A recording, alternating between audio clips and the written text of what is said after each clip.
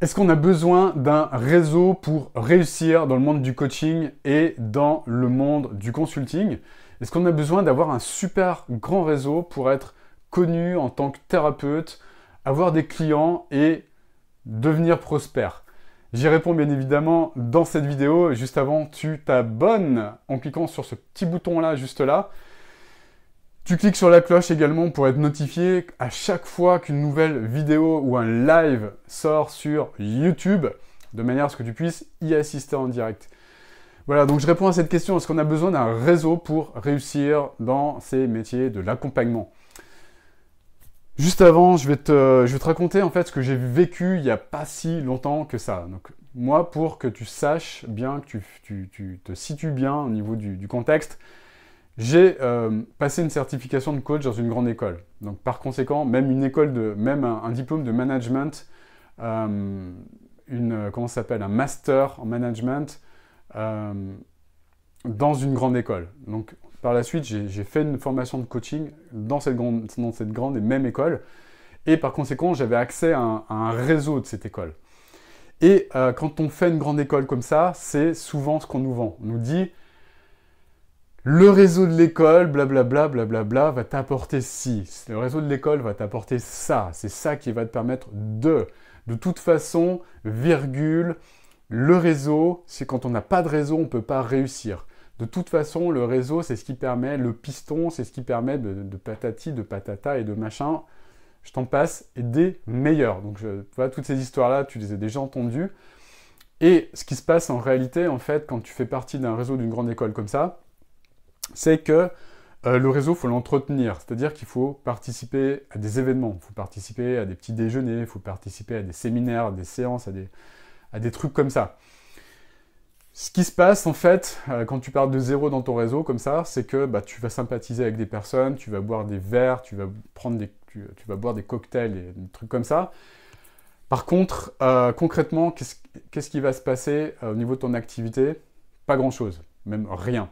Rien du tout. Pourquoi? Parce que bah parce que, euh, parce que le réseau, ça a ses limites. Et le réseau, c'est euh, moi, c'est ce que, ce que j'ai compris en fait en me posant, en prenant du recul par rapport aux choses, en me posant la question pourquoi ça marche pas ce réseau?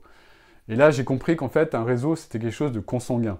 C'est-à-dire qu'un réseau, c'est complètement limité euh, aux membres du réseau et également aux membres hors du réseau, bien évidemment, par contre, pour atteindre les, membres hors du réseau, bah, c'est ça qui est le plus compliqué en fait. Donc ça, ça s'apprend évidemment, mais ça prend énormément de temps en fait de, sortir de ce réseau, d'être recommandé par, ce type de personnes par rapport à des de membres hors du réseau. Pourquoi? C'est important d'être recommandé à des membres hors du réseau parce que les membres du réseau lui-même ne te correspondent pas forcément, ils ne correspondent pas forcément à ton avatar, c'est-à-dire aux personnes que tu recherches. Tout simplement.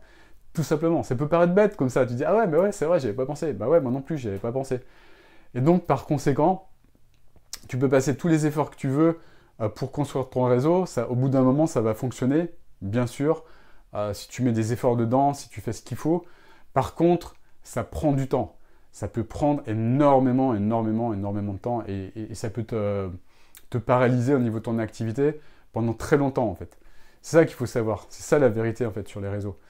Et euh, ce qu'il est important et nécessaire de comprendre également, c'est qu'un réseau, en fait, enfin moi, c'est ma croyance à moi, et, c'est celle-là qui m'a vraiment aidé à, réussir dans, ce que je fais, c'est qu'un réseau, quelque part, ça t'enchaîne en fait. Tu vois, ça t'enchaîne les, euh, les, poignées comme ça. Tu es enchaîné à ton réseau. Enfin, moi, c'est l'impression que j'avais, dans le sens où un réseau, il faut respecter ses codes, il faut respecter ses valeurs, sa façon de fonctionner.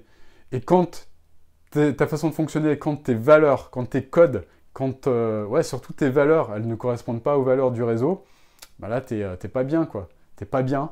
Euh, et, et, moi, mes valeurs, clairement, ce ne sont pas des valeurs qui correspondent, qui correspondaient en tout cas aux valeurs du, réseau dans lequel j'étais à l'époque. Voilà, et clairement. Donc, c'est pour ça que j'ai trouvé bien enfin, fort heureusement, d'autres stratégies qui m'ont permis de me libérer de la nécessité d'un réseau. Et c'est là que j'ai compris, en fait. C'est là que j'ai compris qu'un réseau, ça servait à rien. Qu'il y avait maintenant des, stratégies, euh, je les appelle maintenant les stratégies des années 2020, bah, qui permettent de se faire connaître parmi les bonnes personnes, pas les, membres du réseau euh, qui n'ont pas forcément les mêmes valeurs que toi, mais te faire connaître à des personnes qui ont les mêmes valeurs que toi, te faire connaître à des personnes que tu peux aider, te faire connaître par des personnes bah, que tu peux inspirer tout simplement, des personnes qui ont une problématique que toi tu peux régler avec ce que tu fais. Et ça, c'est mille fois, mille fois, un milliard de fois plus puissant que euh, devoir papoter, devoir euh, faire des petits déj avec des personnes avec qui tu partages pas forcément les mêmes valeurs. On est d'accord? Voilà, donc après, si tu as les valeurs de ton réseau, c'est cool, c'est super, mais après, si, euh, si tu n'arrives pas à faire prendre à ton entreprise l'expansion qu'elle mérite, c'est qu'il y a un problème quelque part. Et c'est que là, tu arrives à la limitation du réseau. Donc c'est très très bien d'avoir un réseau dans lequel tu es bien, comme un poisson dans l'eau, et, avec lequel tu partages des valeurs. Mais par contre, cette limitation, elle arrive à un moment ou à un autre. Si tu penses uniquement à ton réseau, si tu comptes uniquement sur ton réseau pour te faire connaître, c'est obligatoire que tu vives une, limitation au niveau de ton chiffre d'affaires et du développement de ton entreprise.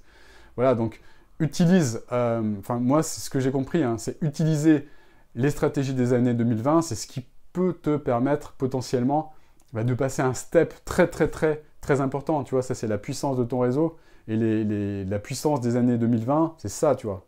On le voit même pas tellement c'est euh, c'est hors d'échelle en fait. Et c'est ça qui, moi, m'a permis maintenant de, bah, de construire un business prospère, puisque mon business maintenant, mon activité, elle a dépassé les 100 000 euros par mois de chiffre d'affaires. Ouais, par mois, pas par, euh, pas par an. 100 000 euros par mois de chiffre d'affaires. Même euh, là, on, est en train de dépasser les 120 000. Et je pense que d'ici quelques temps, on sera beaucoup, euh, beaucoup plus haut que ça. Après, c'est pas, c'est pas un but, c'est pas un but de, de, générer du chiffre comme ça. Moi, mon but, c'est, c'est, créer un grand mouvement, en fait. Mon but, c'est d'aider un maximum de personnes, un maximum d'entrepreneurs à devenir des entrepreneurs du cœur, des entrepreneurs ultra alignés, des entrepreneurs qui bah, qui ont une mission en fait, qui ont une mission au quotidien et qui se créent justement le monde, leur monde, leur monde à leur image en fait. Donc ce sont des personnes qui se créent cette communauté qui leur ressemble, donc non pas un réseau auquel ils sont obligés de s'adapter, mais c'est eux-mêmes qui créent leur réseau en fait. Et ce que je leur apprends, c'est à devenir la pièce centrale du réseau. Voilà. Donc tu comprends l'impact en fait. Ça n'a pas du tout le même impact d'être la personne qui s'adapte au réseau, qui s'adapte au code du réseau, et être la personne qui est au centre, au centre de ce réseau en fait. Donc tu deviens la pièce maîtresse du réseau en fait. Donc ça change tout au niveau des résultats bah, de ton business, évidemment, puisque les gens, viennent à toi, et c'est ça qui, euh, est transformationnel.